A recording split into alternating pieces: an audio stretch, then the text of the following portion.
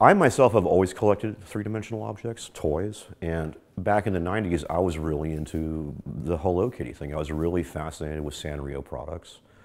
I was really fascinated with the concept like, okay, here you can take this basically featureless character, right? Kitty doesn't even have a mouth, right? Um, she has no voice.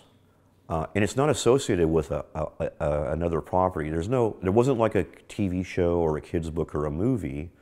Kitty was invented, you know, she sprang fully formed from the forehead of Zeus, basically, right? She's whole, you know, right there. And it's like such perfect design that Kitty could be anything to anybody. You know, I know people like Kitty's goth, Kitty's sexual, she's non-sexual, Kitty's for children. Kitty's really a tongue, you know, anybody can, uh, like this mirror, it's like a mirror item. And that was just really interesting to me on lots of levels. A, I liked the way the stuff looked. I was really into Keroppi the frog too. I used to collect Keroppi stuff. I was really into the look of it. I'd always been a fan of Japanese animation, I mean, going back to the 70s. This was different though.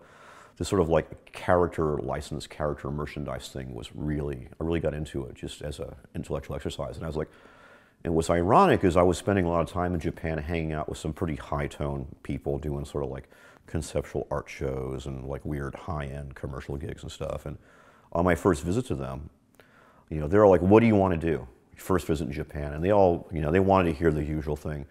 I want to go to the hot springs. I want to do all these like really sort of like, I want to climb Mount Fuji. I want to do all this like normal like things that, and I was like, I want to go to Puro Land, which is like Hello Kitty Land in Tokyo or outside Tokyo. And they were like, they are just like, what? They were aghast. Because over there in the 90s, Kitty was seen as lower class garbage. And if you were like an adult male that was interested in it, was a primarily like a little girl's toy. There was something kind of weird about that.